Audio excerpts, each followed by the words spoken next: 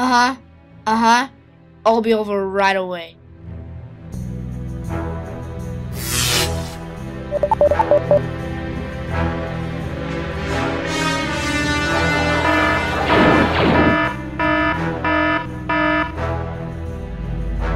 Hello, Quick. I heard they got away. You need to go to their secret hideout in the forest and get the diamond back.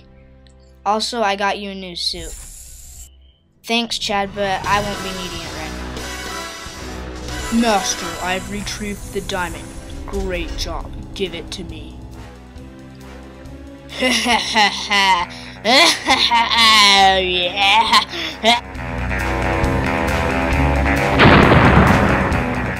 Let's fire it up, boys.